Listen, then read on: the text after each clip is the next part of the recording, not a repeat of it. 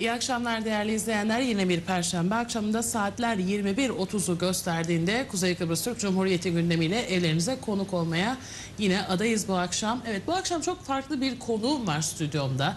Çok farklı bir konuya ama toplumu birebir ilgilendiren bir konuya değineceğiz.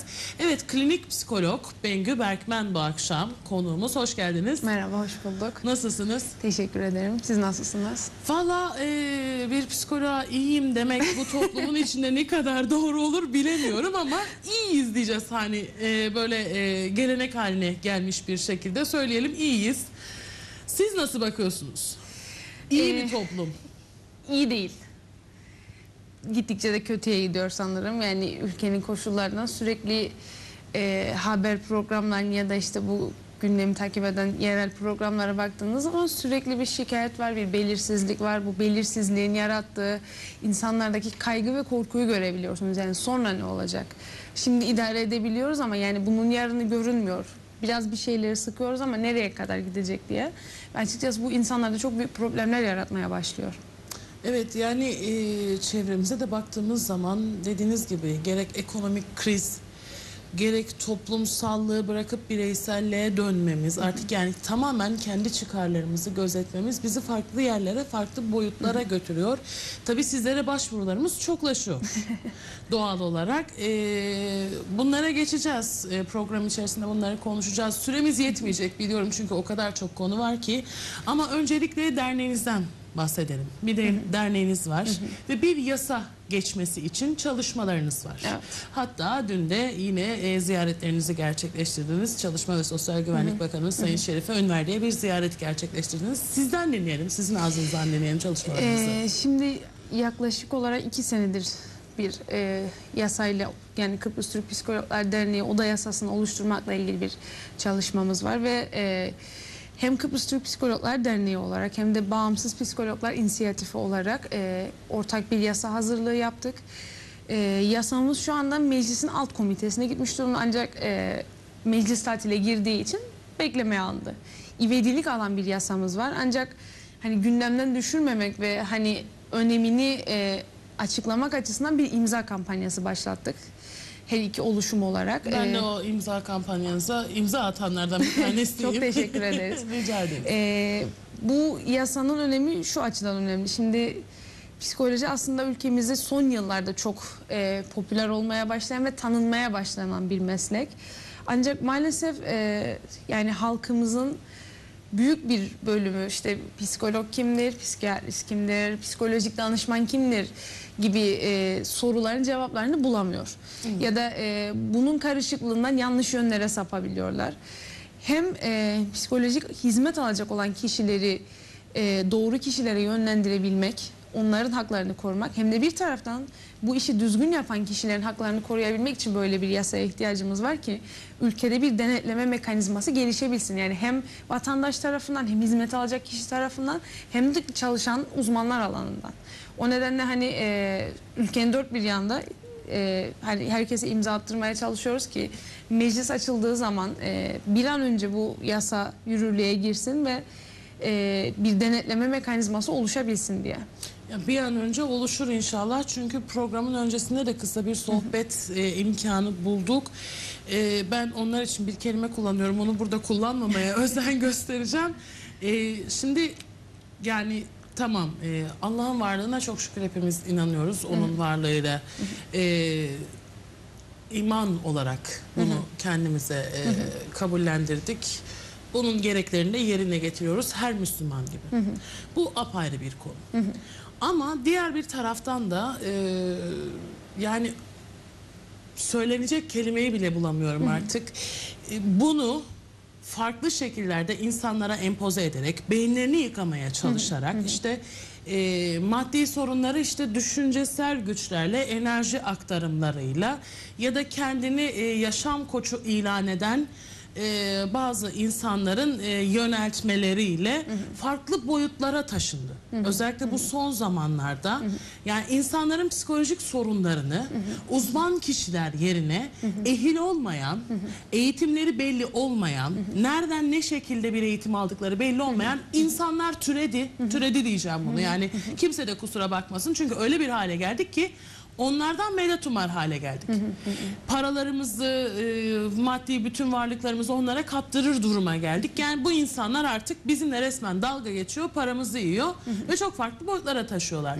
Bunlarla ilgili neler söyleyeceksiniz? Yani insanların bunlara itibar etmemesi için nelerin yapılması lazım? Nasıl önlemler almalıyız? Şimdi e, yani çok güzel bir noktaya değindiniz. Oda yasasının bir noktada pratik anlamda önemli olmasının sebebi bu. Çünkü belki de bu zamana kadar bizim dezavantajımız ve yani bu mesleğin daha çok yeni şekilde buraya geliyor olması. Yani bir 10 ya da 15 yıllık bir geçmişi var. E, ve yani son dönemde insanlar artık psikoloğa gitmenin kötü bir şey olmadığını ya da tırnak içinde delilik olmadığını Evet. e, kavramaya başlıyorlar. Ancak halen daha dediğim gibi tanımlamalar çok yetersiz. Yani bir sıkıntısı olduğu zaman ya da yaşamında mücadele edemediği, zorluk yaşadığı ya da karar veremediği durumda kime başvurması gerektiği, psikolog mu, psikiyatrist mi, psikolojik danışman mı ya da her kimse bununla ilgili ayrımı çok net bilmiyorlar. E, dolayısıyla bundan yararlanan her zaman olacaktır. Meslek içinde ve meslek dışında. Yani şey e, anlam görülmesin burada. Yani meslek içinde herkes çok etik çalışır, çok iyi çalışır diye bir durum yok Burada maalesef. da siz çok önemli bir noktaya Evet. değinmiş oldunuz. Evet. Hem meslek içinde yani etik e, kuralları ihlal eden insanlar var. Bunun yanında eğitimi, altyapısının ne olduğu belli olmayan ancak bir anda ortaya çıkan yeni meslek grubu da diyemeyeceğim farklı oluşumlar var. Evet. Ve e, maalesef şöyle bir tablo ortaya çıkıyor. Siz psikolojik çalışma yaparken, bir hastayı görürken e, bu belli bir zaman içerisinde olan bir şeydir. Maalesef biz bir dahiliye doktoru ya da bir cerrah gibi işte kalpte problem var onu açıp tamir edelim gibi bir yani sürecimiz yok. Bu uzun bir süreçtir. Kişi size gelir, güvenir, her problemi anlatmak bu kadar kolay değil. Yani siz düşünün ki tanımadığınız birine gidiyorsunuz ve kendinizin kendinize bile itiraf edemediğiniz en özel noktalarınızı o kişiye anlatmanız gerekiyor. Bir seansta, bir görüşmede ya da iki görüşmede bu çok mümkün değil. Evet. Ve maalesef bu alan dışı çalışan insanların e, reklam yaparken bir anda insanlara yani bir dünyayı vaat etmeleri, çok mutlu olacaksınız, her şey değişecek gibi saçma ve ütopik şeylerden bahsetmeleri e, tabii ki insanları daha fazla cezbediyor.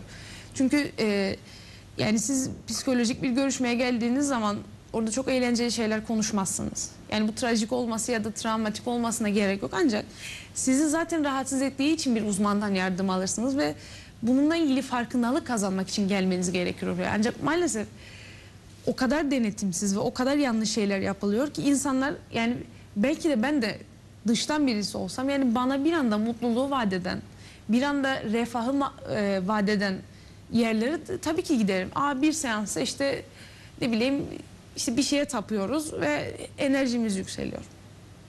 Yani Bu kadar çok- kolay evet. olmamalı diye düşünüyorum. Evet yani mesela ne bileyim şimdi e, bir yaşam koçu ya da e, ismi her neyse şimdi e, kimse de üstümüze yürümesin kimseyi de üstümüze yürütmeyelim ama e, ismini X, Y, Z olarak koyduğumuz birisi bizi alıyor doğaya çıkıyoruz derin nefesler alıyoruz işte bir iki ritmik jimnastik hareket yapıyoruz E, oturuyor bize e, yok enerji aktarıyor yok bilmem ne hop bir seansla her şey yoluna girdi o zaman siz niye okuyorsunuz sizinle ilgili üniversitelerde niye bölümler var siz de okumasaydınız kısa yoldan para kazanmanın yolunu seçseydiniz niye okudunuz ve niye psikolog oldunuz yani bu soruyu sormadan geçemiyorum Evet. ben üniversiteler niye eğitim veriyor o Evet. halde Şimdi belki şeyi tanımlamak gerekir. Yani kimler görüşme yapabilir, kimler hasta Evet. görebilir.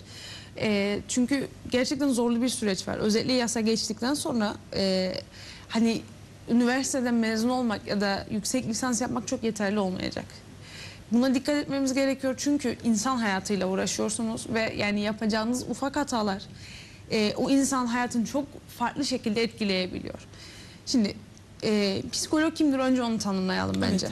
Psikolog 4 yıllık lisans bölümünü tamamlayan kişiye şu anda YÖK tarafından verilen bir ünvan. Eğer siz bunun üzerine psikolojinin herhangi bir alt alanını yani klinik, e, gelişim, deneysel, endüstriyel ya da okul psikolojisi, spor psikolojisi yüze yakın alt alanı var. Bunlardan birini yaptığınız zaman uzman psikolog olarak geçiyorsunuz. Bunun üzerine doktora yaptığınız zaman doktor ünvanı alıyorsunuz vesaire vesaire bu şekilde gidiyor. Evet. Psikiyatrist kimdir diye sorarsanız 6 yıllık tıp eğitimini bitirdikten sonra üzerine ihtisas olarak psikiyatri alanını seçen kişilere psikiyatrist denir. Psikolojik danışman da aslında bu sadece Türkiye'de ve Kıbrıs'ta olan bir bölüm. Yani e, bildiğim kadarıyla İngiltere'de ve Amerika'da böyle bir bölüm yok. E, danışmanlık psikolojisi olarak geçer. E, rehberlik ve psikolojik danışmanlık bölümünü bitiren eğitim fakültesine bağlıdır bu da. O bölümü bitiren kişilere denir. Ve yine onun üzerine yüksek lisans yaptığında uzman psikolojik danışman olur. Psikolog olmaz. Evet. Ve e, psikolojik danışmanlar da hasta göremezler aslında. Çünkü yani sadece temel yapabilirler. evet temel alanları eğitimdir onların. Eğitim alanında bir şeyler yapabilirler. E, 4 yıllık psikoloji bölümünü bitiren kişiler de aslında hasta göremezler. Yani 4 yıllık psikoloji bölümünün üzerine e, yüksek lisansla klinik psikoloji yüksek lisansını yapmanız gerekir. Ama yeni yasayla birlikte bunun üzerine de dünyaca geçerli olan bir terapi eğitimi almanız gerekir. Çünkü şu anda artık yüksek lisansı çok e, hani yeterli durumda değil. Hangi akıma göre bir tedavi yöneteceksiniz? Yani 400'e yakın e, terapi yöntemi var. Şu anda 3 tanesi çok yaygın şekilde. Bunlardan biri psikanaliz, biri bilişsel davranış tedavi, bir de varoluşsal terapiler, geçtal terapisi var. E, dolayısıyla hani size uygun olan ya da çalışacağınız grupla ilgili olarak sizin bir akım seçmeniz gerekir. Yani ben işte atıyorum bilişsel davranışı tedavi yapacağım ya da işte ben hayır psikanalizi seçiyorum. Daha uzun süreçte işte bilinç dışı malzemeyle çalışacağım gibi şeyleri söylemeniz gerekiyor. Ama günümüzde şöyle bir şey var. Ee, örnek veriyorum. Bankacılığı bitirir. Arkadaşlarıyla sohbetlerini, insan ilişkileri güçlüdür ve şeyler. Ben yaşam koçu oldum. Ee, halen daha yaşam koçunun tam olarak ne yaptığını bilmiyorum. Yani Ya bilen varsa arasın bize haber versin. Ben Yani bunu diyeceğim gerçekten artık buradan ne daha yaptıklarını ileriye bilmiyorum. Ancak şu noktada yaşam koçlarına ya da bu tip şeyleri yapan insanlara karşı tedavi kısmına girdikleri anda işte çok e, sen depresyondasın diye tanı koyabilecek kadar kendine ö- şişkin bir özgüvenleri olan insanlara e, yani açıkçası anlam veremiyorum. Hangi eğitime, hangi altyapıya dayanarak bir insan depresyon tedavisi koyup ona ödevler verip e, onun ne yapması gerektiğini ya da hangi e, bankada nereye yatırım yapacağını söyleyebilecek kadar yani e, hadsiz insanlar olduğunu biliyoruz ve bunların önüne geçmeye çalışıyoruz açıkçası. Maalesef ben de yaşadığım bir olayı anlatayım şimdi isim vermeden çünkü e, bir arkadaşım e, bu şeylerin içinde böyle kendini bayağı bir kaptırmış durumda. Onu Reiki işte e, mucize enerji isimlerini de veriyorum buradan yani bu yapılanları. E, bir gün e, evdeyim oturuyorum telefonum çalıyor. Nihan merhaba merhaba işte iyi değilsin. Yo gayet iyiyim oturuyorum hiçbir şeyim yok. Hayır diyor. E, neye yattım demişti bana işte seans uykuma yattım dedi. O ne dedim. Bir, böyle ne oluyoruz falan. Rica ederim. Aynen telefonda öyle bir şey geldi. E dedim enerjin düşmüş dedi. Yok dedim gayet iyiyim. Bir şeyim yok. Hayır diyor enerjin düştü. Ben sana enerji göndereceğim. Aradığında da beni Türkiye'den. Dedim deniz var geçebilecek misin? Yani itibar etmiyoruz böyle şeyler ama Edenler benim, sizin ya da e, ne bileyim kameraman arkadaşımın, yönetmenimin itibar etmemesi değil bu. Toplumun ciddi bir kesimi bunlara itibar ediyor. Yani enerji gönder. Türkiye'den sen bana enerji gönder. Ne olacak oradan enerji göndersen? Nasıl gönderiyorsun? Yolda takılmasın bir yere. Yani gerçekten artık insanın asabı da bozuluyor. Facebook'u, sosyal paylaşım sitelerini açıyoruz. İşte doğa yürüyüşleri, bir sürü abuk subuk, absürt şeyler. İşte enerji göndermeler, internet sanal ortamdan enerji gönderiyorlar birbirlerine ve insanlar buna para veriyor. Ya Bunun bir an önce önüne geçilmesi lazım. Evet. Sizle konuşuyoruz. Paran yoksa arabanı sat, para ver. Şekline geldi ortam artık. Evet. Yani devletin, hükümetin de buna bir şeyler Çocuğun yapması. okul taksitlerini verme. Yani Bana neler? gelmeniz lazım. Peşin para alanlar var. E Yani bildiğim kadarıyla da seanslar 150 lira. Yani buradan s- söylüyoruz artık yani hükümetimiz her konuyu yapıyor tamam kurultaya gidiyoruz. Siyasi bir e, çatışma ortamındayız şu an e, s- muhalefet iktidar, iktidar muhalefet ama toplumun akıl sağlığını düşünen yok. yok. Bir yasayı geçiremiyorsak yani bu bir soru işaretidir. Evet. Yani ne diyeceksiniz bunlara daha ben söyle o kadar içim dolu ki bu konuda yani düşün enerji gönderildi mi size hiç? Yani bana gönderilmedi, gönderildiyse bilemem ama yani Bu konuşmalardan sonra Ee, göndermesinler ters enerji bana bize. böyle görüşmeye gelen birine şey derim ya ben sizi bir psikiyatriste yönlendireyim. Bir de o değerlendirsin. Ondan sonra şey yaparız. Çünkü Peki e, şimdi Reiki dünya çapında yaygın olan bir şey. Çok da araştırmadım, gerek de duymuyorum. Çünkü ben e, kendi kendimi yönetebileceğime inanıyorum. Yani başkasının beni idare etmesine, akıl sağlığımı idare etmesine ihtiyacım yok. Zaten bir bozukluk da hissedersem veya çevremdekiler hissederse sizlere geliriz. Uzman kişilere. Ama bunlar nedir yani? Nasıl çıkıyor bunlar? Nasıl insanlara itibar ediyor? Tamam vaatler güzel dediğiniz gibi kısa sürede tedavi, kısa terapilerle tedavi ama e, insanları nasıl kandırabiliyorlar? Ee, şimdi biraz önce de bahsettiğim gibi yani bir psikologla görüşmeye gelmek ilk başta çok korkutucudur. Bu herkeste olan bir hani korkudur, bir bilinmezliktir. Kime giderim, güvenilir birimi nasıl anlatırım, benim anlattığım şeyler başkasıyla paylaşılır mı? Bunlar çok normal korkulardır.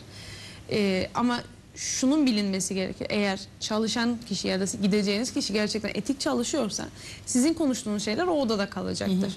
Hiçbir koşulda dışarıya bir yere yansıtılmayacaktır. Ama maalesef insanlar artık o kadar bir e, işi taşırdılar ki işte meslek içinde de bu- bunu yapanlar var. Yani sadece meslek dışını bırakıyorum. Kendi mesleğimin içindeki insanları eleştirecek olursam görüşme yaptığı kişiyi daha sonra gidip işte çok yakın bir arkadaşına anlatan ya da bunu kahve sohbetlerinde döken insanlar var maalesef.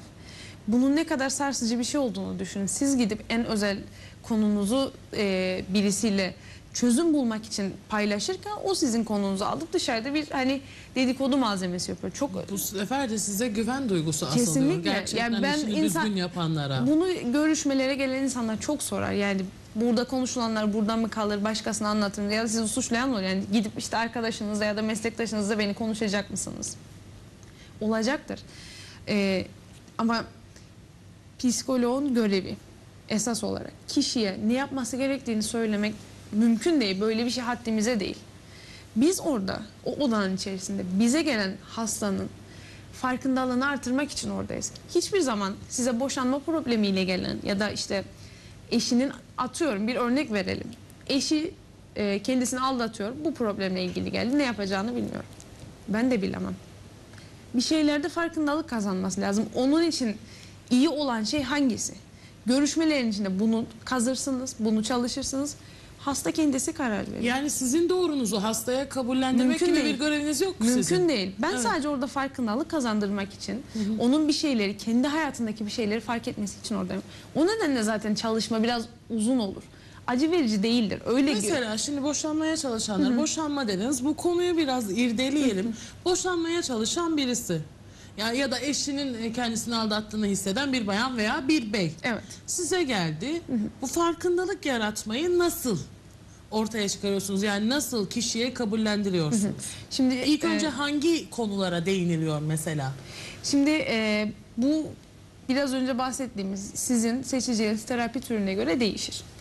Ben psikanaliz yolunu seçtiğim için bizde bir konu yoktur. Hasta ne anlatmak isterse onu anlatır. Dolayısıyla yani zaten şöyle bir şey var. Hasta size gelirken neler konuşacağını belirler. Çünkü belli bir süreniz vardır. Şöyle bir şey var. e, yani etiksiz çalışan insanlarda saat sınırlaması yoktur. Çay kahve içilir. Tıpkı bir arkadaş sohbeti gibi. O zaman sizin profesyonelliğiniz yoktur. Sizin karşınızdakine bir arkadaştan daha faydalı yapabileceğiniz bir şey de yoktur.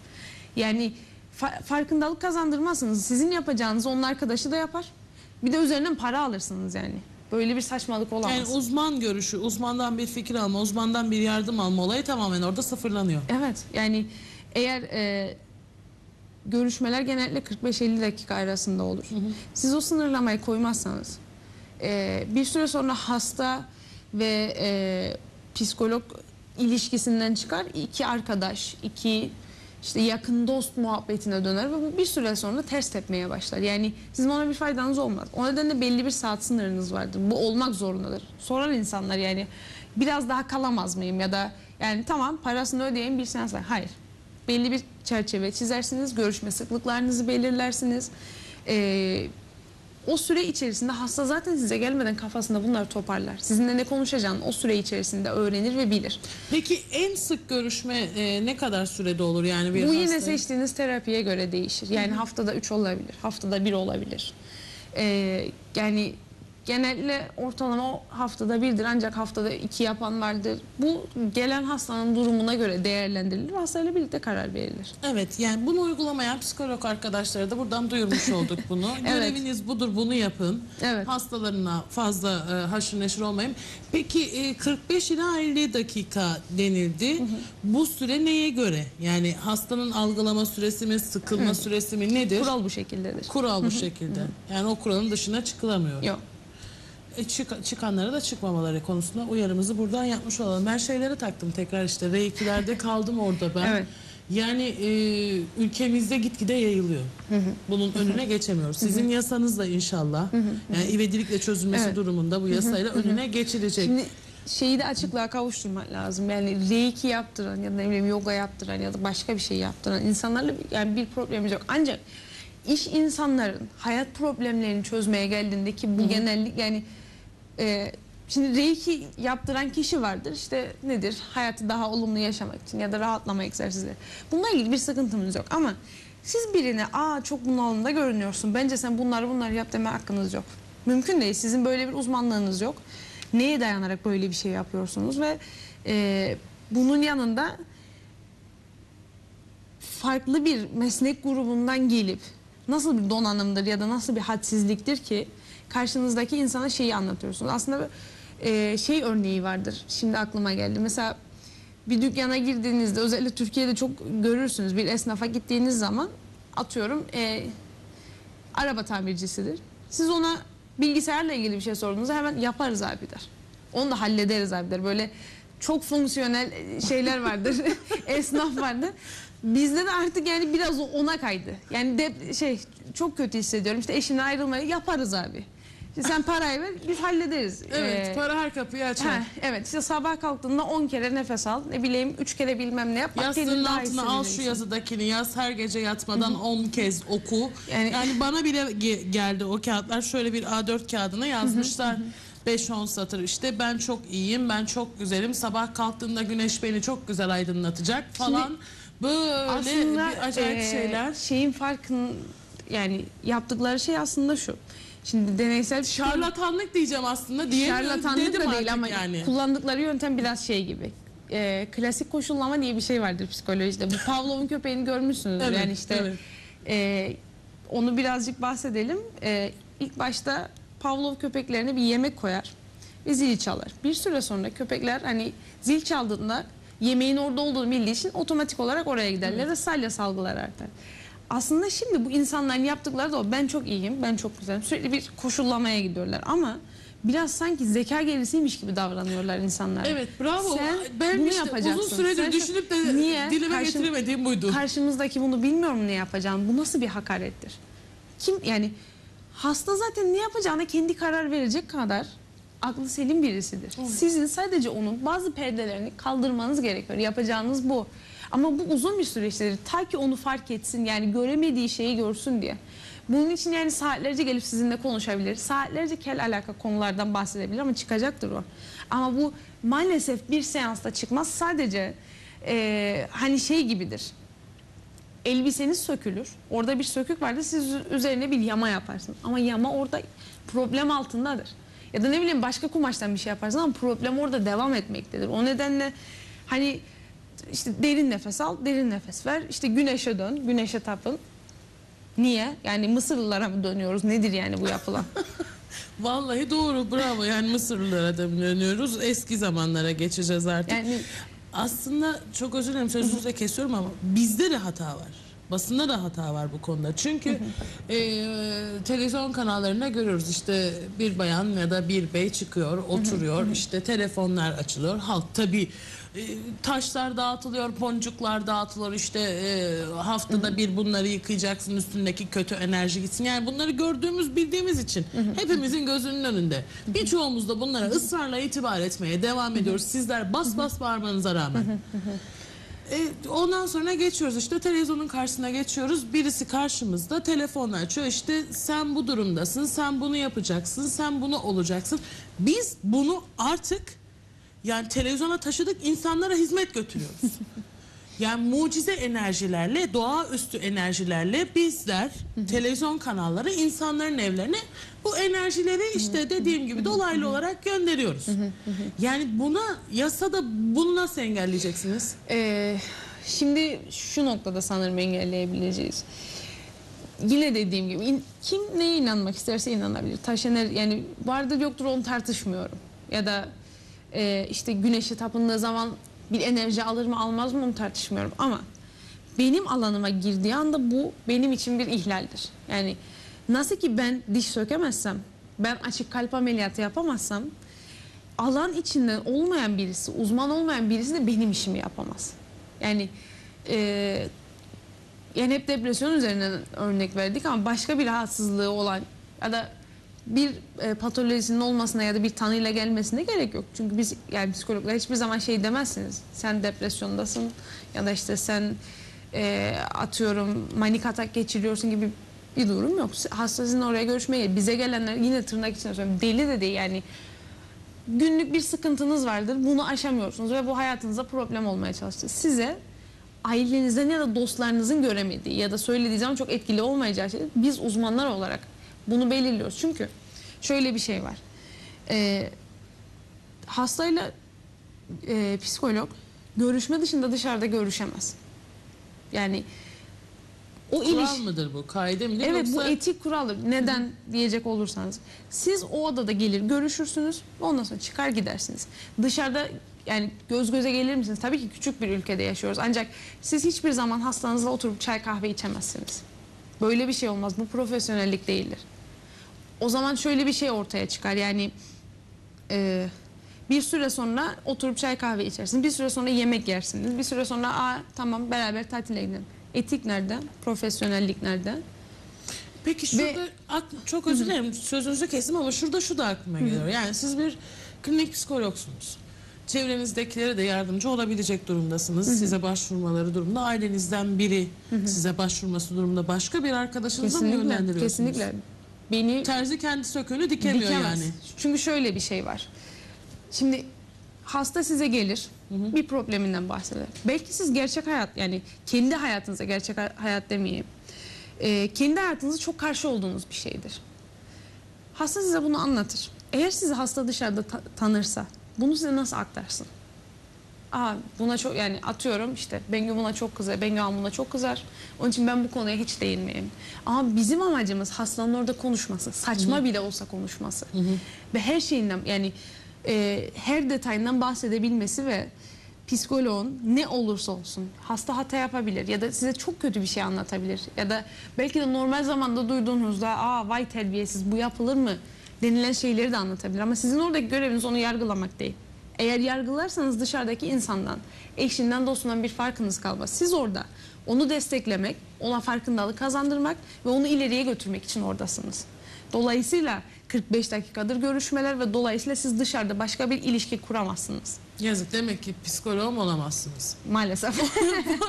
bu şansımı da kaybetmiş bulunuyorum. Evet aslında çok güzel noktalara değiniyoruz. Ben yine e, birazcık da sizin e, meslek arkadaşlarınıza yaşadığınız sorunlara gelmek istiyorum. Yani etik kuralların çiğnenmesine. E, bu etik kuralların çiğnenmesine yani e, kendi branşlarını, kendi alanlarını aşıyorlar. İşte hastalarla farklı sosyal ilişkiler içerisine giriliyor.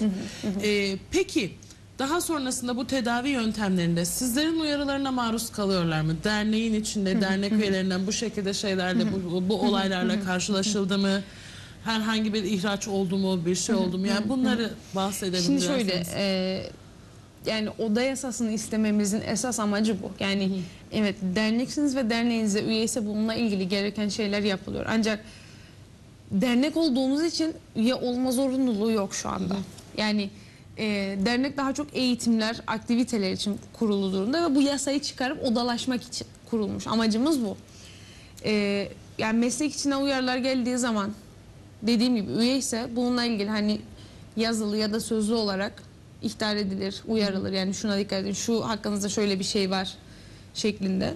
Ancak e, bunun daha etkin olarak yapılabileceği oda yasasında. Çünkü bu mesleği yapabilecek olan ya da yapmak isteyen insanların bizim odamıza üye olmaları zorunlu olacak. Dolayısıyla hani e, yaptırım gücünüz artacak, hukuksal boyuta taşınabilecek. Çünkü e, mesela gelen ihbarlarda da maalesef şöyle bir durum var. Yani mesela atıyorum hasta mağdur oldu. Size başvuru yapar ama "Ya benim ismim geçmesin. Tamam. E, ne yapabiliriz? Bir süre sonra t- tıkanıp kaldığınız noktalar oluyor. O nedenle oda yasasına acilen ihtiyacımız var. Evet, evet. evet. Ve yani şimdi işte bu şekilde hastaya da insan sağlığına da ciddi bir zarar meydana geliyor. Ee, ikili ilişkiler kurularak, geliştirerek ve görev etiğini çiğneyerek. Peki e, ülkemizde e, toplumun ekonomik olarak sorun yaşadığını hepimiz yaşıyoruz. Evet. Ciddi sorunlarımız var. E, maddi, manevi ya maneviyata döndü artık. Maddiyatı aştı sorunlar. Çünkü maddi sorun ciddi anlamda insanların akıl sağlığını, psikolojisini bozuyor ve bozulmasını tetikli- tetikliyor. E, bizim toplumumuzda, Kuzey Kıbrıs Türk Cumhuriyeti toplumunda en fazla gördüğünüz e, hani şimdi yanlış bir tabir de kullanmak istemiyorum. Kendimi psikolog gibi hissetmek de istemiyorum. Çünkü çok zor bir meslek. İnsanın akıl sağlığıyla uğra- uğraşmak. Travmalar. Toplumun geçirdiği travmalar en fazla hangi yönde? Şimdi zaten e, yani yakın geçmişimizde bir savaş dönemi oldu. Dolayısıyla bunun izleri e, en azından bir ya da iki nesil büyüklerde çok net olarak görülüyor. Yani e, o yaşanmışlıklar yeni yeni artık toparlanmaya, yaralar yeni yeni sarılmaya başladı. O savaşın arkasından şimdi evet bir cumhuriyet kuruldu ancak tanınmayan bir ülke. E, ülkenin ikiye ayrılması. Kıbrıs Rum kesimi ve Kuzey Kıbrıs Türk Cumhuriyeti olarak bunun verdiği bir e, sıkıntı var. Yani daha önce özellikle daha büyüklerin yaşadığı işte daha önce e, Rum kesiminde kalan bir yerde yaşaması bu tarafa geçmesi sonra kapılar açıldığı zaman işte evi o tarafta değil insanların köklerini arayışları var. Yani ben aslında o taraftandım bu taraftandım. Bir kimlik arayışı Kimlik arayışı var. Yani neredeydik, nereye geldik, ne durumdayız. Ve en kötüsü gelecekle ilgili zaten yani artık dünyada böyle bir sıkıntı başlamışken yani bize de e, bunu vurmaya başlaması ve insanların bununla ilgili bir ışık görmemesi çok e, kaygı uyandırıcı. Peki e, gelecekte umut yok, ışık göremiyor. Sizin göreviniz de insanların bu travmalarını üzerinden atması. Mesleğinizde yaşadığınız en büyük zorluk şimdiye kadar. Karşınıza çıkan daha çok genç bir e, klinik psikologsunuz. E, karşınıza çıkan en büyük sorun halledemediğiniz ya da halledemeyeceğim dediğiniz bir şey oldu mu? Etik ihlaller işimizi çok zorlaştırıyor. Şu anlamda zorlaştırıyor. Sizin belli kurallarınız var. İşi düzgün yaptığınız zaman ve özellikle hani başka birinden bir darbe yiyip gelmişse başka bir uzman adı altında ya da başka bir işte ne iş yaptığını bilmediğimiz birinden e, hasta size şey der. Ama siz böyle yapmıyorsunuz. Hı. Yani siz her şeyi bilmiyorsunuz. Ben bir insanım her şeyi bilemem. Siz anlatacaksınız ki öğreneyim. Benim ne bildiğim değil. Sizin bana ne anlatmak istediğiniz önemli. Ben sizin anlattığınızla çalışırım. Size göre süt beyazdır, bana göre değildir. Ya da ben başka bilirim, siz başka bilirsiniz. Ama önemli olan sizin orada bana ne anlattığınız. Dolayısıyla da işte e, 45 dakika bittiği zaman ayağa kalktığınızda iyi ben biraz daha oturmak istiyorum ama ben daha önce filana gitmiştim. Ama böyle değil. Sizde çay kahve yok mu? Boğazım çok kurudu. Ya da e, Dışarıda sebil var bir bardak su için. Hayır. Dışarıda 45 dakikanın dışında bir yerde su içmeniz lazım. Evet. Boğazınız kuru, kuruyorsa ben ona başka bir şekilde bakarım. Neden boğazınız kurudu diye. Heyecanlandınız mı? Ne oldu? Ee, Ha, bir de o tarafları var. Şimdi ben burada tiyoları alıyorum. Şimdi ben de bir programcı olarak burada nasıl ne yapmalıyım, nasıl davranmalıyım. Bu arada sizin de boğazınız kurudu galiba. Evet, evet. Süre geldiniz. Ben bir şey yapmadım sevgili izleyiciler. Ee, sevgili psikologumuza çok da kıymetli bir büyüğümüzün e, kızısınız. Daha çok yeni mesleğe adım attınız. Aslında çok yeni değil çünkü durdurak bilmiyorsunuz. Sürekli okul devam ediyor. Sürekli e, eğitimler devam ediyor. eğitimler Yani devam bizim ediyor. mesleğimizde şöyle bir şey var. Yani mezun olduktan sonra devam edemiyorsunuz. Sürekli eğitim almanız ve kendinizi yenilemeniz gerekiyor. Ya aslında bu bütün mesleklerde böyle. Bütün mesleklerde zor- zorluklar var ama benim için bilmiyorum. Belki başkaları için de bu böyledir ama insanın akıl sağlığı her şeyden önemli. Sağlık her şeyden önemli. Her şeyin önünde geliyoruz. Önce sağlık diyoruz zaten hep ama insanın akıl sağlığı da gittikten sonra hiçbir şeyi başaramıyor. Yani e, şahsen benim e, kendi problemlerim olsa bir psikoloğa gitmekten hiçbir zaman imtina etmem, çekinmem. Yani hani hep belirtiyorsunuz ya tırnak işareti içinde. Delilik değildir bu. Bir uzman görüşe başvurmaktır. İnsanları buraya aslında çekmek de lazım. Evet. Çünkü e, hep söylüyorsunuz eşinizle dostunuzla konuşursunuz ama hiç tanımadık bir insana belki de sınırsız Çok daha şeyleri kolaydır anlatabilirsiniz. E, işte bu doğaüstü güçlerde de belki de insanlar öyle hissediyor. O şekilde anlatıyorlar. İnsanları çok da yadırgamıyorum. Çünkü e, bir umut arayışına giriyorlar açıkçası. Yani bana da herhalde bir anda çok şey vaat eden bir şey olsa ben de bunu denerim. Ben bunu şeye benzetiyorum. Şimdi e, bu zayıflama yöntemlerinde en sağlıklı olanı sanırım spor yaparak gösteriyor ya da işte dengeli beslemek. Ama bir taraftan diyorlar ki X cihaz çıktı. Şimdi 10 dakikada sizi bu kadar inceltiyor. Neden o 10 dakikada inceltene Bu gitmeyeyim? X ki? cihazın adını ben sizden sonra alabilir miyim? ne olduğunu Yani, bilmiyorum. Evet. Ama işin yani böyle- işte böyle gidiyor Ha, insanlar. yani iki ay acı çekeceğim ya da dört ay acı çekip de işte aç kalacağımı 10 dakikada bunu yapabilirim. Ama bir bakıyorsun işte bir hafta sonra aslında erittiğiniz yağ değilmiş suymuş tekrar aynı şekilde geri dönüyorsunuz gibi şeyler var. Yani bu iş de ona benziyor. Suçlu psikolojisi nasıl bir şey? Yani Suçlu psikoloji derken. yani şimdi suçlu psikolojisi e, hangi suçtan bahsetsek e, diye düşünmeyeceğiz. Şöyle bir şey. Yani e, insanların mesela aklıma şu an geldi bu konu. Bir insan bir insanı nasıl öldürebilir? Nasıl bir psikolojik durumdur? Nasıl bir travmadır ve insan bu hale gelebiliyor? Mesela dün akşam e, çok üzüldüğümüz, çok e, yani trafik terörünü defalarca kınadığımız bir olay. E, 11-12 yaşlarında Nihat isimli küçücük bir çocuğumuz bisikletiyle Gönyeli yolunda e, vahim bir şekilde hayatını kaybetti. Bir aracın altında kaldı.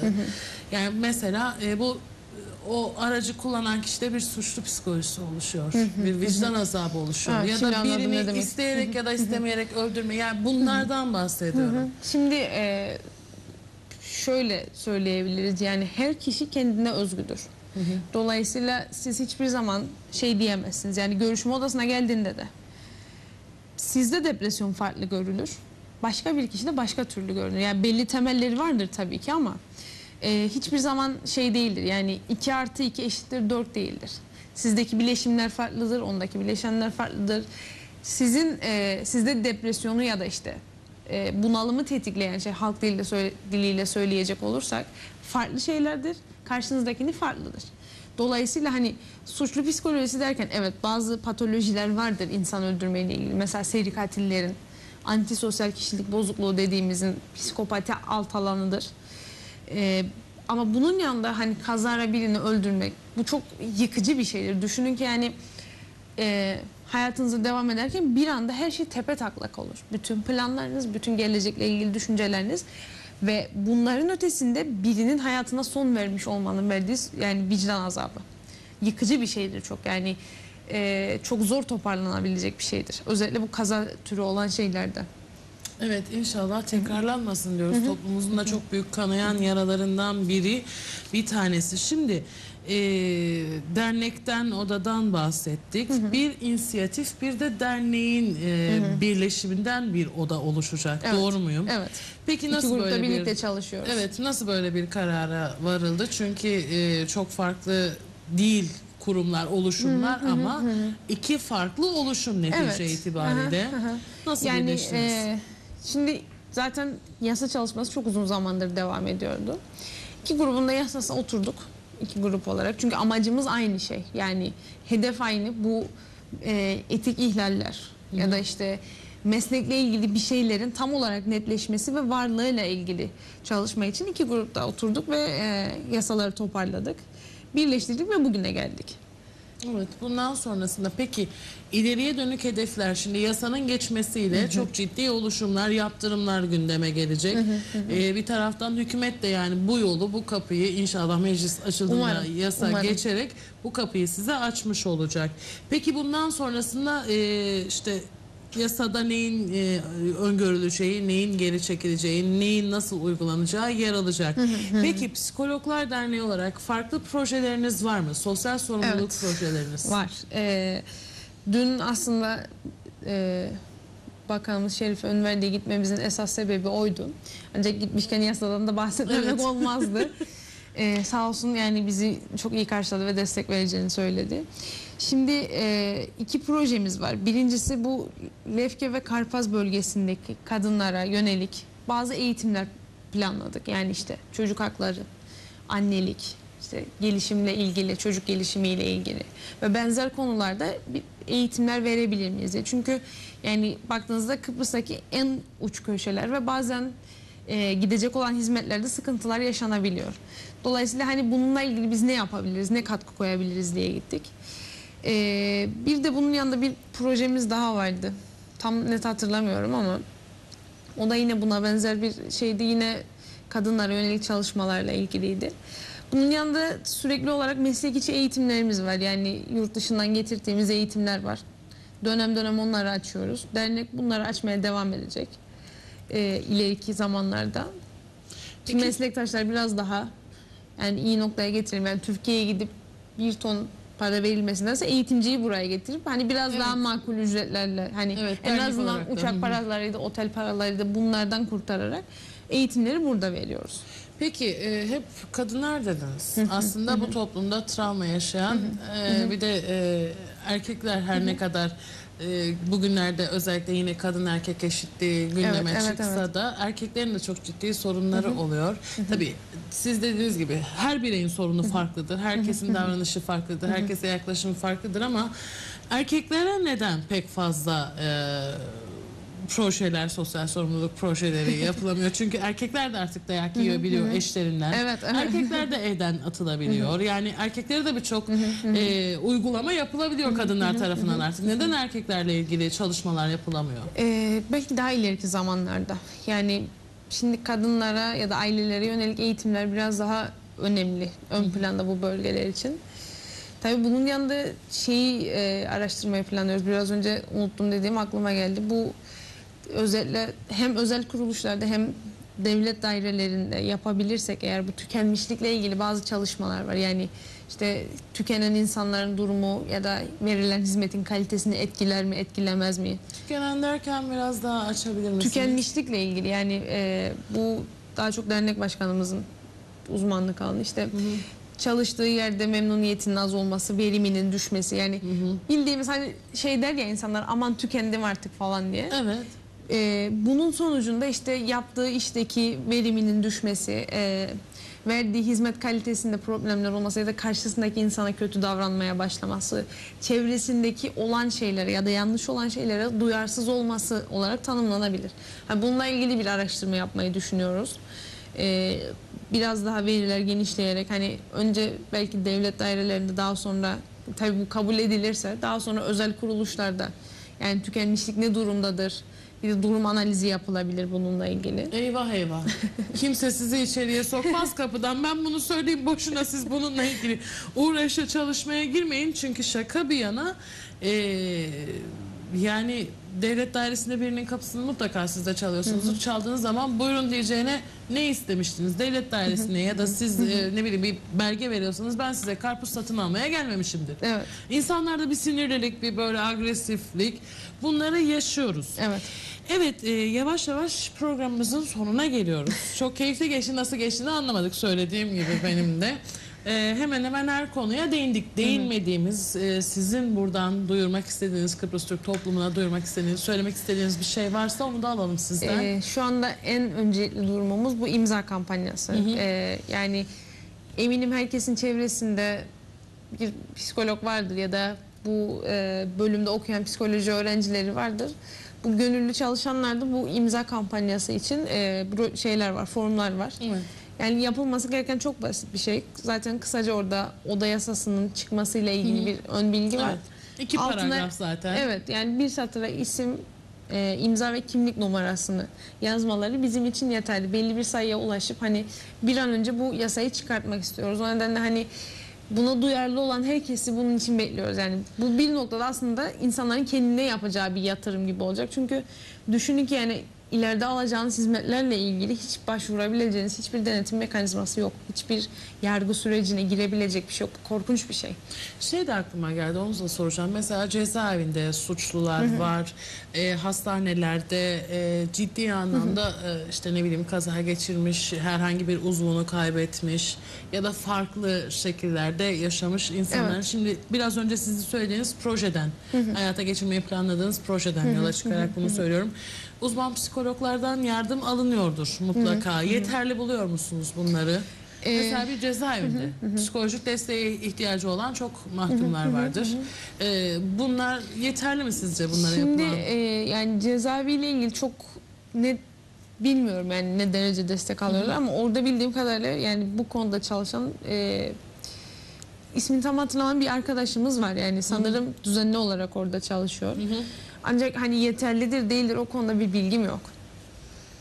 Yani o konuda bilginiz yok. İnşallah bunlar da iyi derece biz de bu- konuda bilgisiziz. Ben de buradan özür diliyorum halkımıza. Bunu da araştıracağım ve bakacağım nedir. Çünkü az önce suçlu e, psikolojisinde sorduğum zaman aslında bir raddede de aklıma cezaevi geldi. Çünkü Avrupa toplumlarında, Amerika'da, diğer ülkelerde e, televizyonlarda hep görüyoruz. Yani sadece filmlerde değil.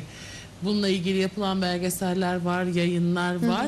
Ee, suçlu psikolojisi aslında e, Avrupa ülkelerinde çok önemli ve insanların suç oranlarını, ülkelerin suç Evet. oranlarını düşünmek düşürmek için uzman kişilerin görüşlerine Evet. başvuruyorlar ve devlet bunlara terapi e, yapılması için imkan sağlıyor, maddi imkanlar sağlıyor. İnşallah bizim ülkemiz de o düzeye gelir de sizler de burada önünüz açılır Evet. diğer meslek grupları gibi. Çünkü gerçekten size çok ihtiyacımız var. Akıl sağlığı her şeyden önemli diyorum. İmza kampanyamızı söyledik. Evet. İmza atmaktan kimse korkmasın. Evet. Ben de imzamı attım. Teşekkür ederiz. evet bu arada yeşil kalem. Neden yeşil kalem? Bilmiyorum. Sanırım hazırda olan oydu diye herhalde yani şeyin formunu yanına taşıdığımız için olacak. Yani Evet. belli bir özelliği yok. Evet meclis açıldıktan sonra tekrar görüşüyoruz. Ben buradan sözünü alıyorum. Tamam. İnşallah bu imza kampanyası güzel bir ses getirir. Başarılarınızın devamını diliyoruz. Çok teşekkür ederim. Evet değerli izleyenler bu haftalık bizden bu kadar. Hepimizin ufak tefek de olsa sorunları var. Ama ne olur sorunlarımızı çözerken uzman kişilere danışalım. Uzman olduğunu savunanlara değil. Haftaya aynı gün ve aynı saatte görüşünceye dek hoşçakalın.